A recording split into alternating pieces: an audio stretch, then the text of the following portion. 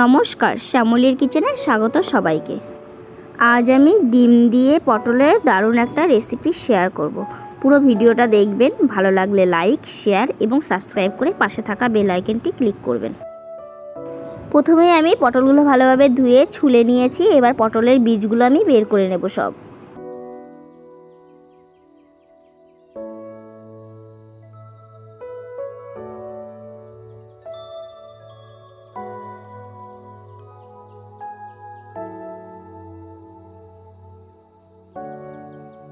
দুটো ডিম আমি লবণ দিয়ে ভালোভাবে ফেটিয়ে নেব।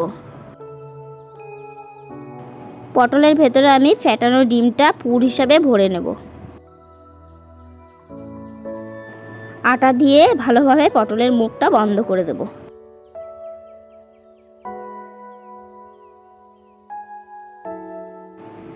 কড়াইতে তেল গরম করে আমি সমস্ত পটলগুলো ভালোভাবে ভেজে নেব। হলুদ গুঁড়ো এবং লবণ দিয়ে আমি একটু ভালোভাবে ভাজবো। পটলগুলো ভালোভাবে ভাজা হয়ে গেছে, নামিয়ে নেব আমি।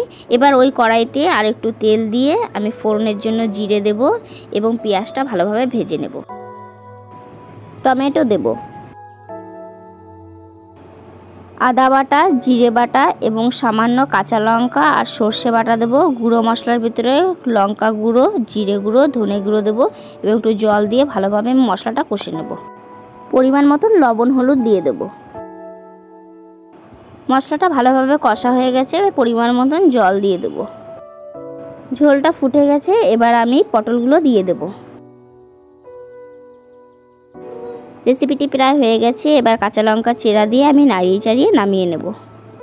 ভালো থাকবেন, সুস্থ থাকবেন এবং পাশে থাকবেন।